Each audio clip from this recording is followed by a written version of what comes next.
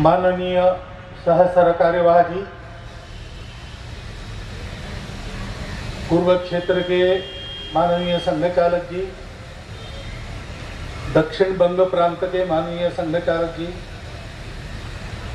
हावड़ा महानगर और कोलकाता महानगर संभाग के आदरणीय संघ चालक द्वय, आत्मीय स्वयंसेवक बंधु, उपस्थित नागरिक सज्जन एवं माता भगिनी मैं अपनी बात को प्रारंभ करूँ, उसके पहले एक संशोधन दे देता हूँ ताकि गलतफहमी न हो। परिचय में यह बताया गया कि डॉक्टर साहब की उंगली पकड़कर मैं संघ में आया। ऐसा नहीं है। उनके जाने के 10 साल बाद मेरा जन्म हुआ है। मैंने उनको देखा भी नहीं। परंतु संघ में हम जाते हैं, किसी न किसी उंगली पकड़कर किसी न किसी की। और अपने जीवन में एक व्रत का निर्वाह करते हैं। और व्रतस्थ होने के कारण ऐसा व्रत ज़िंदगी में जिन्होंने निभाया समय समय पर उनका स्मरण करना ये हमारे लिए स्वाभाविक बात है। आज अपना ये कार्यक्रम हो रहा है। देश गौरव नेताजी सुभाष चंद्र बोस जी का हम स्मरण कर रहे हैं। तो ये हम कोलकाता में पहली बार नहीं कर रहे प्रतिवर्ष करते हैं। छोटा कार्यक्रम या बड़ा कार्यक्रम करते हैं। बाहर समाज को बुलाकर करते हैं अथवा शाखा में कथा कहानियाँ होती है। परंतु ये प्रतिवर्ष हम करते हैं। इसके पहले भी एक बार मैं ऐसे कार्यक्रम में शाम बाज़ार में हुआ था। वहाँ उपस्थित रहा हूँ। एक बार सिलचर दक्षिण आसाम में हुआ था। वहाँ भी उपस्थित रहा हूँ। तो हम पहले से करते चले आ रहे और करते रहेंगे। आज संघ, बड़ा संगठन बन गया है, प्रसिद्ध हो गया इसलिए।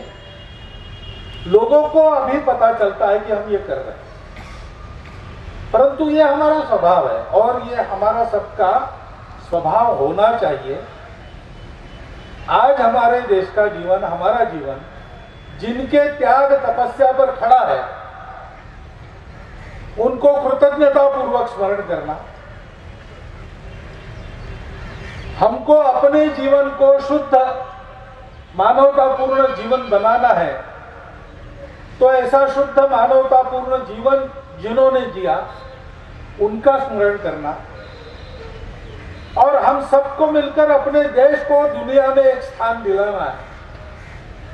तो ऐसा स्थान दिलाने के लिए जिन्होंने अपने जीवन का समर्पण किया, उनका स्मरण करना। देश गौरव नेताजी के स्मरण में, तीनों का स्मरण एक ही व्यक्ति के स्मरण में हो जाता है। उनका जीवन ऐसा था। बचपन में ही परिवार के संस्कार अपनी उनकी अपनी अंगभूत गुणवत्ता जो थी और उनको जो शिक्षक मिले थे, उनके चलते समाज के प्रति संवेदना और स्व के अभिमान के संस्कार उनको मिले। और उसी का उत्तम विकास करते हुए उन्होंने अपने देश के लिए अपना सर्वस्व समर्पण किया। मनुष्य के पास जो कुछ कीमती होता है, बहुत लोगों के पास होता है। गुणवत्ता होती है मेरिट अंग्रेज़ी में कहते हैं, वो होता है। परंतु केवल होने से नाम नहीं होता। उसका उपयोग कौन क्या करता है? नेताजी ने अपने स्वार्थ का रंच मात्र भी विचार पूरे जीवन भर किया नहीं। इतने पढ़े लिखे थे, बहुत कमा सकते थे, परंतु देश की स्वतंत्रता के लिए अक्षरशाह अपना जीवन उन्होंने वनवास में ही गुजारा। वनवास जैसे कष्टों में ही गुजारा। कितने बार जेल में गए? देश से बाहर जाना पड़ा। सेना बनाकर लड़ना पड़ा। सारा जीवन एक अग्नि गर्भ तपस्या है। और ये तपस्या हँसते हँसते उन्होंने पार की। देश के लिए की। अपना नाम हो इसलिए नहीं की। पूर्ण निष्पृहता और निस्वार्थ बुद्धि का आदर्श उनका जीवन है। पूर्ण समर्पण का आदर्श उनका जीवन है। तपस्या के लिए कठोर परिश्रम और कष्ट सहन करने का आदर्श उनका जीवन है। देश के लिए किसी भी प्रकार का साहस, अपने प्राणों की तमा न करते हुए करना, उन्हीं का जीवन उसका आदर्श और ये सारा करते समय उन्होंने अपेक्षा कुछ नहीं की, उनको क्या मिला? हमने उनको क्या दिया? हमने कुछ नहीं दिया। उस समय उनको कुछ नहीं मिला। स्वामी विवेकानंद कहते थे कि भारत को ऐसे तरुणों की आवश्यकता है जो लाहौर का भाषण है उनका, वहाँ बोल रहे थे। तो उन्होंने कहा कि गुरु गोविंद सिंह जैसे तरुणों की ज़रूरत है। गुरु गोविंद सिंह जी ने जन्म भर अपने समाज के लिए कष्ट सहन किए, युद्ध किए, अपने चार पुत्रों का बलिदान किया, उनका निर्वंश हो गया, फिर भी वो लड़ते रहे। और इसके बदले में जिनके लिए वो लड़ते थे, उन्होंने उनको क्या दिया? उपेक्षा दी, उपहास दिया। लेकिन उन्होंने एक शब्द से भी उनके विरुद्ध कोई बात नहीं की। उनके लिए सतत सेवा रख समर्पण समर्पणरत ऐसा जीवन था। ऐसे तरुण चाहिए। अगर स्वामी जी के इस वर्णन के अनुसार उस समय किसी का जीवन पूर्णता से दिखता है तो बाबू सुभाष चंद्र उन्होंने कभी भी जिस देश के लिए काम करते थे, उस देश के समाज में उनका विरोध करने वाले भी थे। हम जानते हैं मत मतांतर होते हैं, उसके चलते वैचारिक विरोध होता है, उसके चलते कई बातें होती है, परंतु ये होने के बाद भी उन्होंने कभी भी आपस में लड़ाई नहीं की। कर सकते थे, शक्ति की समर्थन था नहीं किया। जिनके लिए काम कर रहे थे, उनके विरोध में कुछ नहीं किया। ऐसा जीवन उन्होंने जिया। और इसलिए स्वतंत्र भारत में उनका स्मरण बनाए रखने में थोड़ा कम ज़्यादा हुआ तो भी अपने त्याग के कारण संपूर्ण भारतवर्ष की जनता के स्मरण में वो सदैव रहे, अपने आप रहे। किसी ने कुछ किया नहीं। किसी ने कुछ किया नहीं, इसके बावजूद आज वो स्मरण में है। आज भी हम उनको नेताजी कहते हैं, क्योंकि उनका ऐसा नेतृत्व गुण था। वो वास्तव में अपने हित की तरफ़ ले जाने वाले नेता थे।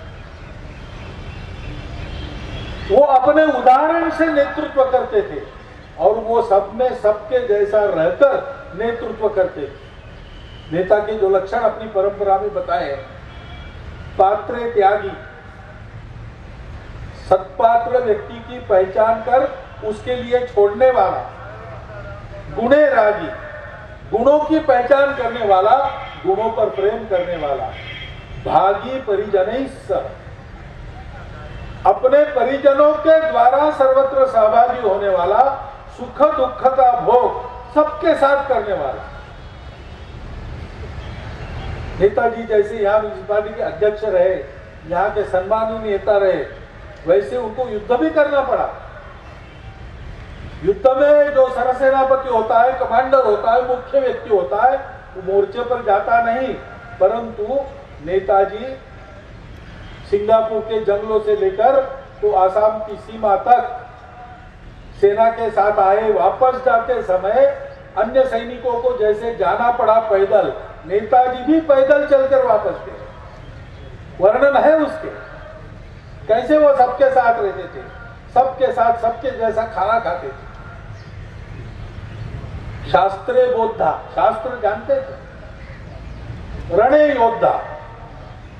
उनका युद्ध कौशल, उसकी उसकी, उसका क्या वर्णन करना? वो तो जगत प्रसिद्ध है। जिनके साम्राज्य पर सूर्यास्त नहीं होता, ऐसे लोगों के लिए एक नई सेना बनाकर उन्होंने चुनौती खड़ी की और दस्तक दी भारत के दरवाजे पर। समय का भाग्य चक्र अगर सीधा चलता तो नेताजी भारत के अंदर प्रवेश करके बहुत आगे आ चुके होते और यहाँ के स्वतंत्रता के लिए यहाँ रहकर प्रयास करने वाले और उनका मिलन होता और भारतवर्ष बहुत पहले स्वतंत्र हो ऐसे नेताजी का स्मरण करना, क्यों करना? इसलिए उनके प्रति कृतज्ञ, कृतज्ञता तो है ही। उनके गौरव में यह स्मरण करना हमारा कर्तव्य है। ये सारे गुण उनके हमारे अंदर आने चाहिए। ये दूसरी बात है, और उनके सपनों में भारत का जो करना था उनको, वो अभी अधूरा है तो उस कार्य को भी पूरा करना है। हम लोग काम करते हैं तो उसकी एक दिशा होती उसका एक गंतव्य होता गंतव्य की ओर जाने का रास्ता देश काल परिस्थिति अनुसार अलग अलग करना पड़ता है। परंतु गंतव्य कभी नहीं कभी नहीं बदलता। पहले सुभाष बाबू ने और कांग्रेस के आंदोलन में कानून में बैठने वाला आंदोलन किया, सत्याग्रह किए, आंदोलन बनाए, अधिवेशनों में भाग लिया। लेकिन जब उनको ध्यान में आया कि आज की परिस्थिति में केवल इतना करने से नहीं होगा, एक सशस्त्र प्रयास की भी आवश्यकता है। तो उसका भी प्रयास उन्होंने किया। रास्ते अलग अलग होंगे दोनों। या भारतवर्ष में उस समय अलग रास्तों से जाने वाले लोग होंगे। लेकिन गंतव्य तो सबका एक और इसलिए उस गंतव्य को पक्का रखना तो उस गंतव्य के बारे में नेताजी की दृष्टि क्या थी? समझना पड़ेगा। और देश काल परिस्थिति अनुसार जो रास्ता मिलता है, वो कभी आसान मिलता है, कभी बहुत कठिन मिलता है। जैसा रास्ता है, वैसा उसको पार करने के लिए अपनी गुणवत्ता होनी पड़ती है। रास्ता बदलता है। रास्ते को इजम कहते अमुक इजम तमुक इजम इजम बदलते रहे। इजम महत्व की बात नहीं है। गंतव्य क्या है ये महत्व की बात है। और उस गंतव्य तक जाने के लिए सब प्रकार की परिस्थिति में आगे बढ़ने की सातत्य की वृत्ति और आवश्यक गुण संपदा है कि नहीं, ये दूसरी बात है। तो गुण संपदा के लिए भी, उस पथ का पथिक होने के लिए भी हमारे सामने उनका आदर्श है, सुभाष बाबू का आदर्श है। और गंतव्य के लिए भी उनके आँखों के सामने जो गंतव्य था, वही हमारा गंतव्य है। हम संघ के लोग तो वही काम करते हैं। इस देश के वैभव संपन्नता के लिए काम करने वाले सब लोगों को हम कहते हैं कि वो संघ का ही काम कर रहे हैं, जो प्रामाणिकता से, निस्वार्थ बुद्धि से भारतवर्ष के परम वैभव संपन्नता के लिए काम कर रहे भारतवर्ष का विश्व में जो अवदान अपेक्षित है, जिसके बारे में जो अमृत वचन आपने सुना, उसमें स्पष्ट उल्लेख है। सुभाष बाबू ने ही कहा वो अवदान भारत विश्व में दे सके, ऐसा उसको बनाना। वैभव संपन्न यानी आज की व्याख्या नहीं अमेरिका भी वैभव संपन्न है। चाइना भी कहता है, वो वैभव संपन्न है। ऐसा नहीं, हमारा वैभव क्या है? भौतिकता केवल हमारा वैभव नहीं, सब प्रकार की भौतिकता में अग्रणी रहकर भी संपूर्ण दुनिया का गुण वैभव बढ़ाना, संपूर्ण दुनिया में सुख शांति लाना, संपूर्ण दुनिया को स्वातंत्र देकर भी समता लाना, उसके लिए आवश्यक बंधु भाव को पैदा करना यह करने वाला भारत, वो वैभव संपन्न भारत है। ऐसा भारत खड़ा करना, ये गंतव्य है। सुभाष बाबू ने भी वही बताया अमृत वचन में, भारत क्या है? भारत एक अमर राष्ट्र है, क्यों? भारत का प्रयोजन कभी समाप्त नहीं होता। भारत के होने का जो कारण है प्रकृति में, वो समाप्त नहीं होता। भारत सारी दुनिया को धर्म देता है। रिलीजन नहीं। धर्म एक अलग बात है। संपूर्ण दुनिया को एक रखने वाला, उसको उन्नत करने वाला, सृष्टि के पर्यावरण के साथ उसको चलाने वाला, मानव की उन्नति के साथ साथ संपूर्ण सृष्टि की उन्नति साधने वाला। इसके लिए आवश्यक संयम। इसके लिए आवश्यक व्यवहार का संतुलन दुनिया को सिखाने वाला जीवन, वो धर्म दुनिया को देने वाला भारत, वो धर्म नित्य आवश्यक रहता है। आज की स्थिति में जो हम देखते हैं, सारी दुनिया भारत की ओर नज़र गड़ाकर खड़ी है। उस प्रयोजन को संपन्न करने का समय है। उसी प्रयोजन को सिद्ध करने के लिए अपना काम है संघ का काम। और इसलिए अच्छे, पक्के, सच्चे हिंदू को हम करते हैं। क्योंकि ये अगर करना है तो प्रयत्नों की दिशा क्या होगी? कल मेरे हाथ में यहाँ की एक पुस्तक लग गई। तरुण स्वप्न। नेताजी ने कहा है कि 1924 तक मेरे जो विचार है इस पुस्तिका में मैंने संग्रहित किए हैं। और कलकत्ता में 1928 में जो कांग्रेस अधिवेशन हुआ, जिसमें डॉक्टर साहब भी आए थे और नेताजी और उनकी चर्चाएँ हुई थी, उस अधिवेशन में इस पुस्तक का प्रकाशन हुआ। उस पुस्तक में नेताजी ने जो कहा, वो पढ़ के मुझे लगा कि यही तो रास्ता हमारे लिए है, यही तो दिशा हमारी बताई गई है। हम दूसरा क्या कर रहे नेताजी ने कहा, भारतवर्ष पृथ्वी का छोटा रूप है। वो बांग्ला पुस्तक है। मैंने हिंदी अनुवाद कर लिया उसका नेताजी कहते हैं, भारतवर्ष पृथ्वी का छोटा रूप है। संस्कार की सारी समस्याएँ भारतवर्ष में विद्यमान है। अतः भारत की समस्याओं के समाधान का अर्थ ही है। संसार की समस्या का निराकरण। आज के विश्व को उसके समस्याओं से राहत देकर सुख शांति युक्त नई दुनिया खड़ा करने का दायित्व। और उसकी क्षमता भारत में है, भारत को यह करना है। ये सुभाष बाबू बता रहे लेकिन ये करना है तो क्या करना होगा? हमको कुछ हमारे दुर्गुण छोड़ने पड़ेंगे। वो दुर्गुण क्या है?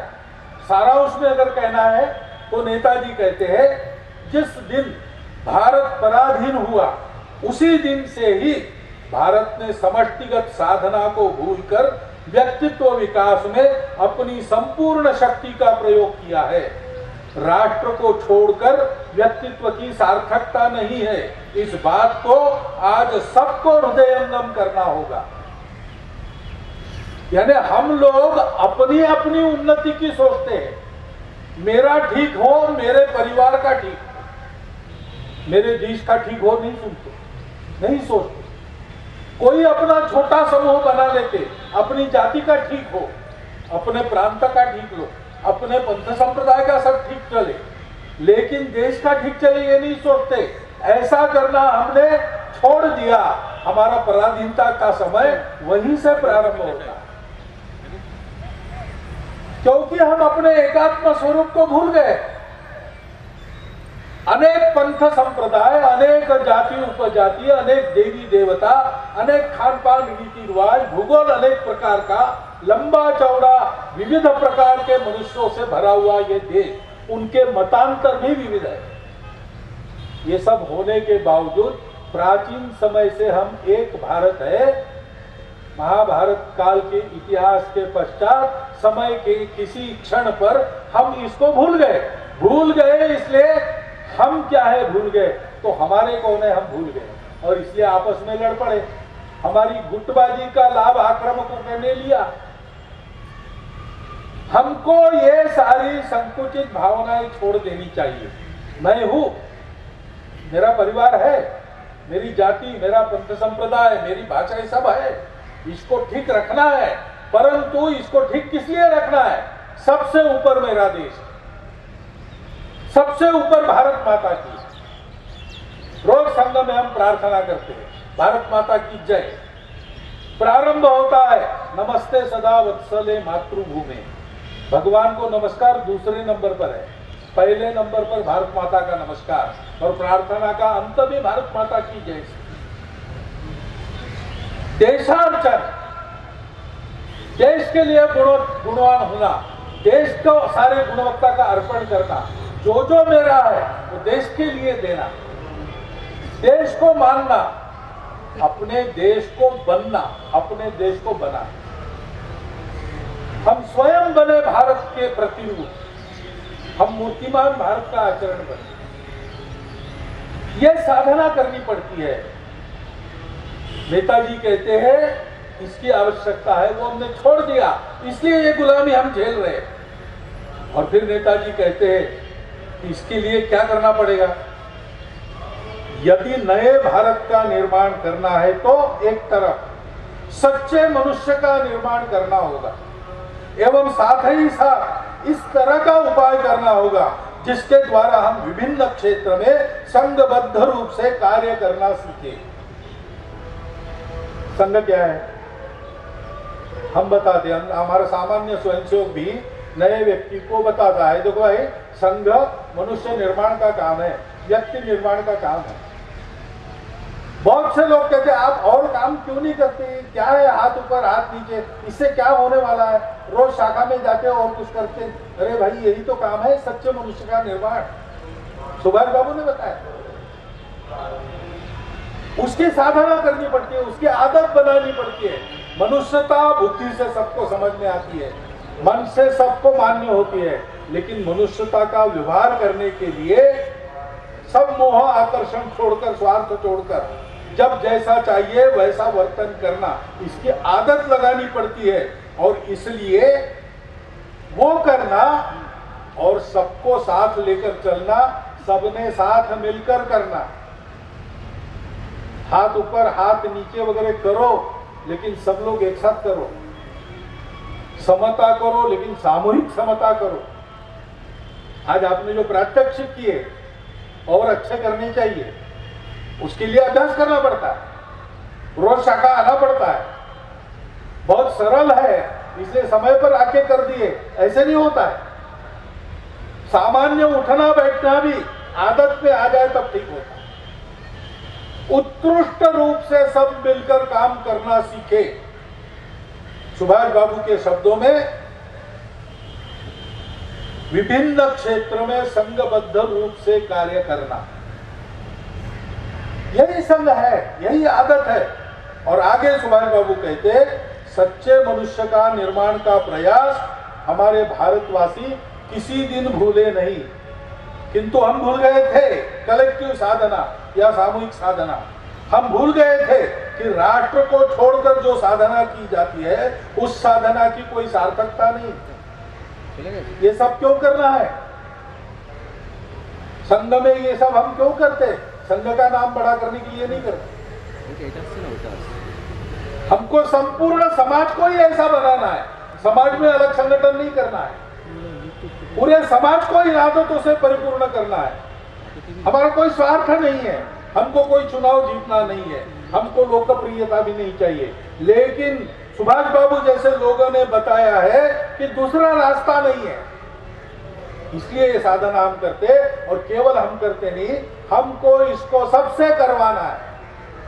संघ का नाम हो ना हो, तेरा वैभव अमर रहे, माँ। हम दिन चार रहे न रहे। इस भाव को मन में लेकर हम अपने कार्य का विस्तार कर और आगे नेताजी कहते कि प्रत्येक राष्ट्रीय प्रतिष्ठान की उत्पत्ति, देश की ऐतिहासिक धारा, चिंतन, आदर्श और नित्य नैमित्तिक जीवन की आवश्यकताओं से होती है।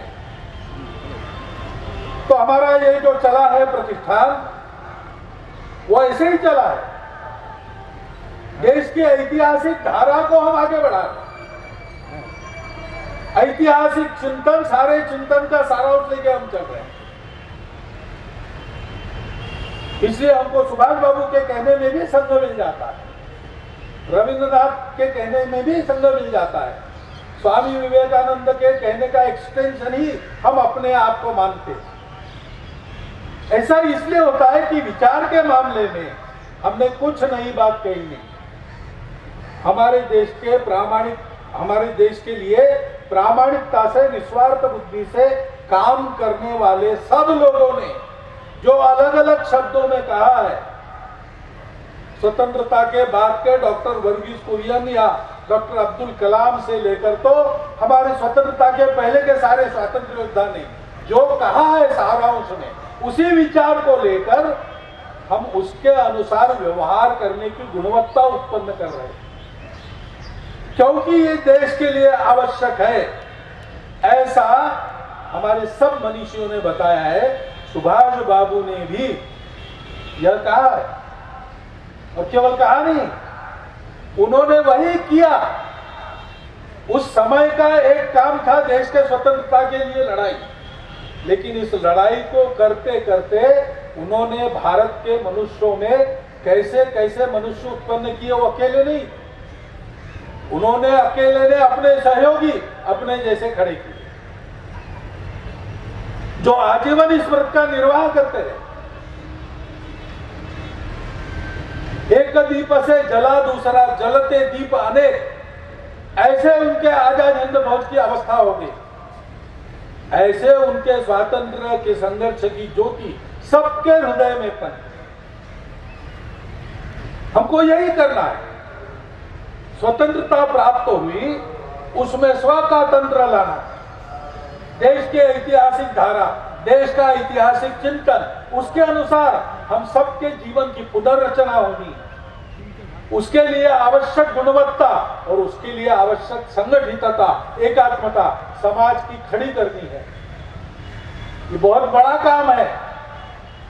देश के लिए मरना था हँसते हँसते बलि चढ़ गए, सुभाष बाबू जैसे लोग। अभी मरने का समय नहीं, लेकिन देश के लिए कण कण, तिल तिल प्रतिक्षण जीना पड़ेगा। स्वतंत्र हो गए, इसलिए काम पूरा नहीं हुआ। स्वाधीनता आ गई। अब राज्य करने वाला अंग्रेज़ नहीं है। अब हम ही लोग राज्य कर रहे हैं, अपने प्रतिनिधियों के द्वारा। लेकिन ऐतिहासिक धारा और चिंतन के अनुसार स्वतंत्र भारत का अपना रूप जो सारी दुनिया के लिए एक मानक बन सके, सुख शांति को प्राप्त करने का नया रास्ता दे सके। ऐसे भारत को गढ़ना है तो प्रतिक्षण उसी समर्पण भाव से, उसी देशभक्ति के भाव से, उसी अनुशासन को जीवन में धारण करते हुए और उसी प्रकार सबको जोड़ते हुए हम सबको आगे बढ़ना है। ये काम हमारे सामने है। इसलिए प्रतिवर्ष छोटे बड़े कार्यक्रम करके कभी लोगों के सामने, कभी अपनी शाखा में, अपने बौद्धिक मंडप में। हम नेताजी का स्मरण करते हैं, उसी भाव से आज भी हम सब लोग उनके जीवन का स्मरण करें, उनके कहे का उनके किए का अध्ययन करें तो उसमें से हम एक दिव्य मनुष्य बन जाएँगे और भारतवर्ष के उन्नति का रास्ता प्रशस्त होगा। और संपूर्ण दुनिया को राहत देने वाला एक उपाय दुनिया में खड़ा होगा। एक पंथ में तीन तीन का सजा देने वाला नेताजी का पुण्य स्मरण, उनकी जन्म जयंती पर हम कर रहे, करते रहे और उस स्मरण के अनुसार अपने आप को गढ़ते रहे। इतना एक अनुरोध मैं आपके सामने रखता हूँ और मेरे विचार को यहाँ विराम देता हूँ।